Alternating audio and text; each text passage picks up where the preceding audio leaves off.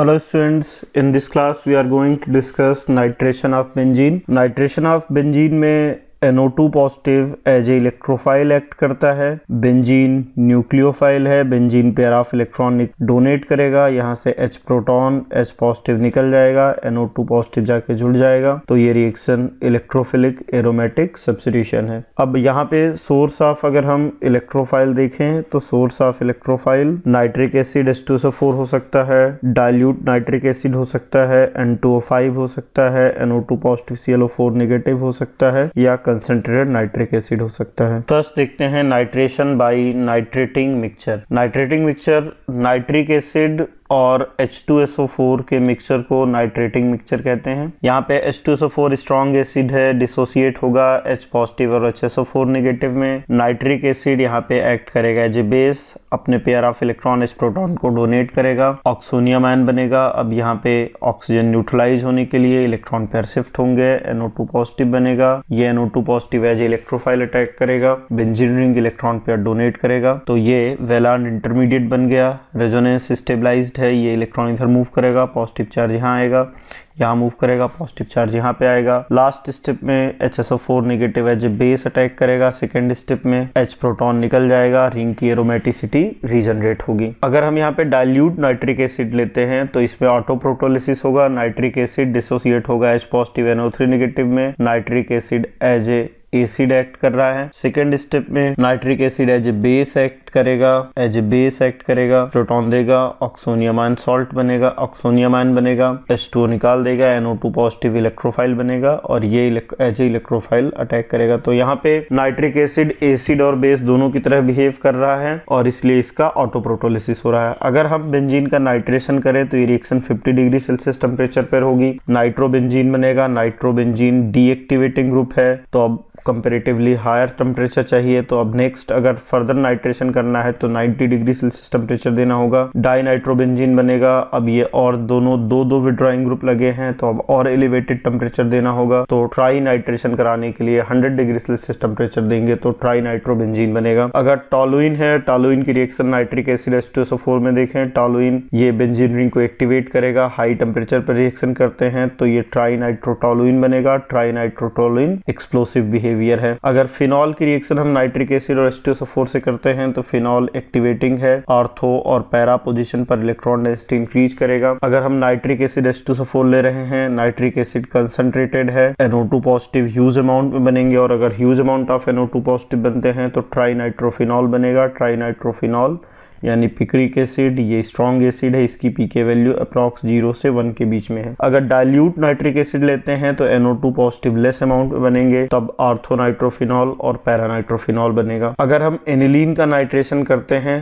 तो expected product aniline ortho para directing है तो एक्सपेक्टेड प्रोडक्ट आर्थो और पैरा थे बट यहाँ पे सफिशियंट अमाउंट में मेटा प्रोडक्ट भी बनता है। पैरा अप्रोक्सीमेटली 51 परसेंट मेटर देखें तो 47 परसेंट और अप्रोक्सीमेटली वन परसेंट ऑर्थोनाइट्रोफिनॉल बनता है और इसके साथ साथ ऑक्सीडाइज प्रोडक्ट भी बनते हैं क्योंकि एनिलीन ग्रुप NH2 ऑक्सीडाइज हो जाता है नाइट्रोसो में। तो अब यहाँ पे स्ट्रॉन्ग एसिडिक मीडियम में एनिलीन का प्रोटोनेशन होगा और अगर एनिलीन का प्रोटोनेशन होता है तो ये एनिलीनियम आयन बनेगा, जो कि स्ट्रॉन्ग डीएक्टिवेटर है due to very strong minus I effect अब माइनस आई इफ़ेक्ट के कारण अगर ये इलेक्ट्रॉन डेंसिटी डिक्रीज करता है तो सबसे ज़्यादा डिक्रीज करेगा आर्थो में क्योंकि पास है, फिर मेटा में और फिर पैरा में इलेक्ट्रॉन डेंसिटी सबसे कम डिक्रीज करेगा, इसीलिए आर्थो वाला सबसे कम बना है मेटा वाला कंपेरेटिवली ज़्यादा है और पैरा सबसे ज़्यादा है। अगर हमें एनिलीन का नाइट्रेशन करना है तो बिफोर नाइट्रेशन हम प्रोटेक्शन करते हैं। एनिलीन की reaction C S three C O C L से करते हैं। तो यहाँ पे पहले एस एन ई मैकेनिज्म होगी सी एल निगेटिव निकल जाएगा। अब अगर इसका नाइट्रेशन करें तो अब ये लेस एक्टिवेटेड है तो अब यहाँ पे आर्थो और पैरा प्रोडक्ट बनेंगे। पैरा प्रोडक्ट कंपेरेटिवली ज़्यादा बनेगा, क्योंकि आर्थो स्टेरिकली क्राउडेड है। अब अगर इसका हाइड्रोलिसिस किया जाए तो एमाइड लिंकेज ब्रेक हो जाएगा और अगेन ये एनिलीन में जनरेट हो जाएगा तो पैरा और आर्थो प्रोडक्ट्स बनेंगे। कुछ क्वेश्चन देखते हैं। Predict products obtained when each of the following compound is treated with a mixture of nitric acid and sulfuric acid अगर नाइट्रिक एसिड और sulphuric acid means nitrating mixture के साथ इसको हीट किया जाए तो बीआर है जो डीएक्टिवेटिंग है माइनस आई और प्लस एम लगाता है माइनस आई ओवरऑल बट ये आर्थो एंड पैरा डायरेक्टिंग है तो यहाँ पे प्रोडक्ट आर्थो सब्सिट्यूटेड और पैरा सब्सिट्यूटेड प्रोडक्ट बनेगा तो यहाँ पे इस केस में ortho product plus para product बनेगा। आर्थो कंपेरेटिवली क्राउडेड है तो पैरा प्रोडक्ट मेजर होगा। यहाँ पे देखें तो ये हाइपर कॉन्जुगेशन शो करेगा प्लस आई इफ़ेक्ट शो करेगा। आर्थो क्राउडेड है, आर्थो प्लस पैरा बनेगा, पैरा मेजर होगा, आर्थो लेस बनेगा।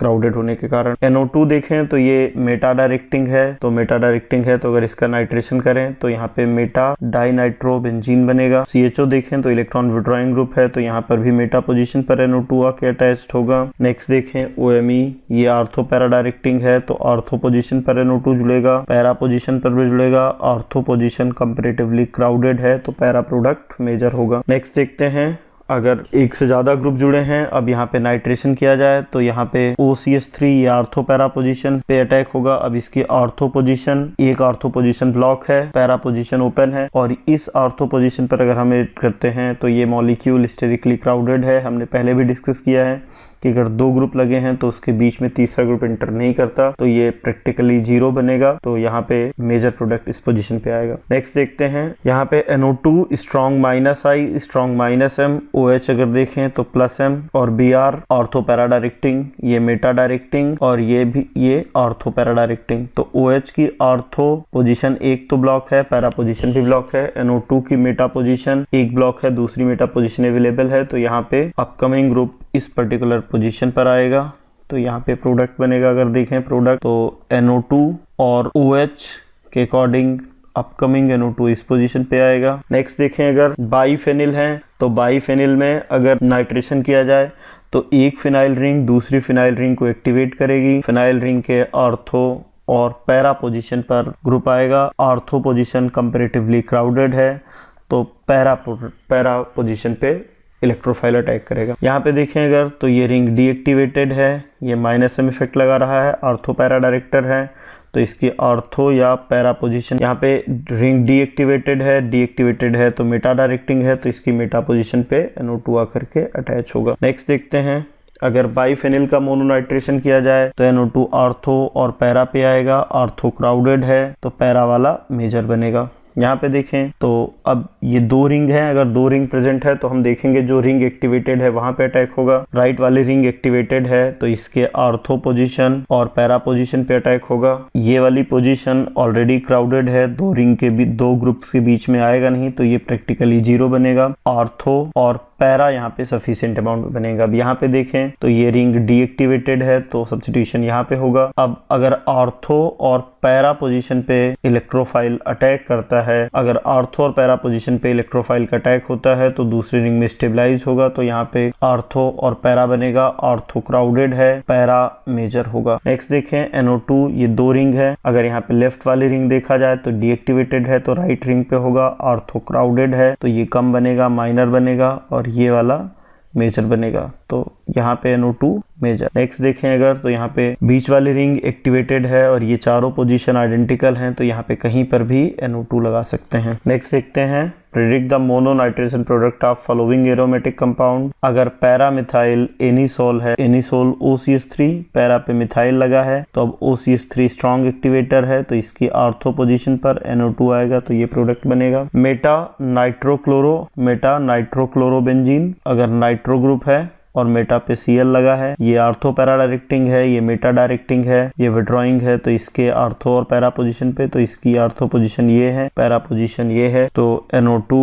आर्थो और पैरा पे आएगा। यहाँ पे NO2 ट्रेसेस में आएगा, क्योंकि दो ग्रुप के बीच में अपकमिंग इलेक्ट्रोफाइल इंटर नहीं करता। पैरा क्लोरो अगर फिनॉल लिया जाए, पैरा क्लोरोफिनॉल तो यहाँ पे एक्टिवेटर ग्रुप ओ OH के ऑर्थो पोजिशन पर आएगा, क्योंकि पैरा पोजिशन तो ऑलरेडी ब्लॉक है तो NO2 इस पोजिशन पे आएगा। अगर मेटा नाइट्रो एनिसॉल है मैं सबसे पहले तो इस पोजीशन पर बिल्कुल नहीं आएगा, क्योंकि दो ग्रुप्स के बीच में नो टू इंटर नहीं करेगा। अब ओ सी एस थ्री की आर्थो और पैरा पोजीशन पे आएगा तो प्रोडक्ट यहाँ पे नो टू दो प्रोडक्ट बनेंगे इस पोजीशन पे और यहाँ पे। यहाँ पे अगर देखें तो ये एक्टिवेटर है तो इसकी आर्थो और पैरा पोजिशन पे अपकमिंग ग्रुप आएगा। आर्थो पे अगर एनओ टू लगाते हैं तो मॉलिक्यूल क्राउडेड बनेगा तो ये लेस अमाउंट में बनेगा और अगर पैरा पे लगाते हैं नो टू तो अब ये मेजर बनेगा। नेक्स्ट देखते हैं, यहाँ पे ये वाली रिंग डीएक्टिव ये डीएक्टिवेटर है, ये एक्टिवेटर है पैरा पोजिशन ब्लॉक्ड है तो एक्टिवेटर की आर्थो पोजिशन पर अपकमिंग ग्रुप अटैच्ड होगा। नेक्स्ट देखिए predict the mononitration product of the following compound इस क्वेश्चन को आप खुद से सॉल्व कीजिए वीडियो को पॉज कीजिए। Thank you very much